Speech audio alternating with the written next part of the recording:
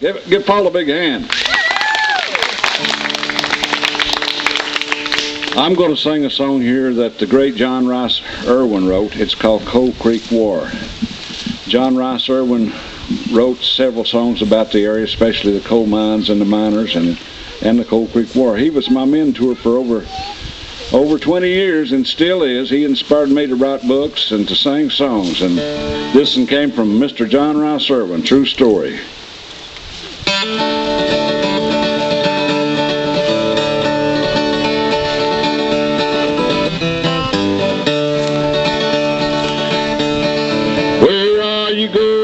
My little man? Crossing the mountain with a gun in your hand.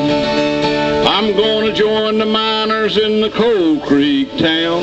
We're gonna light the torch and burn the stockade down. Now the soldiers are coming from near and far. They're gonna take a part in the Coal Creek War. Gonna take a part in the Coal Creek War.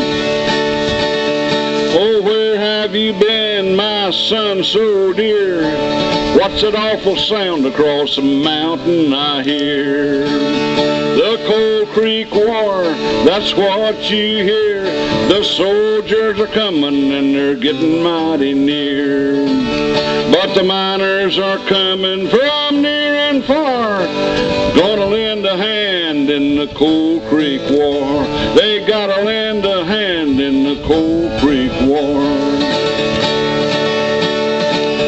The soldiers they dug in upon Middle Ridge and they hung young Drummond from the railroad bridge. The miners they rotted from the rock and the slate, and some of them are coming from other states. Miners are coming from near and far, gonna lend a hand with the Coal Creek War. Gonna lend a hand in the Coal Creek War.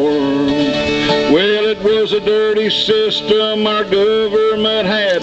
We had to put the right in place of the bad. We had to stand and fight for what we believed.